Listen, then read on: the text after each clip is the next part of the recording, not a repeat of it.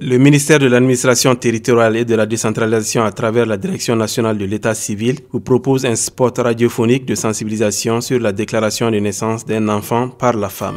La déclaration de la naissance, c'est la première étape du début de la vie d'un enfant.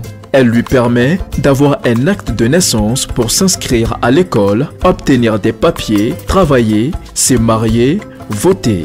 Il en aura besoin tout au long de sa vie.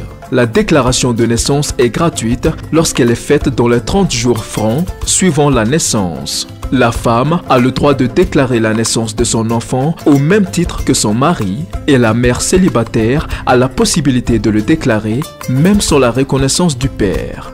La déclaration des naissances peut se faire directement au centre de santé ou au centre de déclaration villageois. Déclarer la naissance est un devoir pour les hommes comme pour les femmes.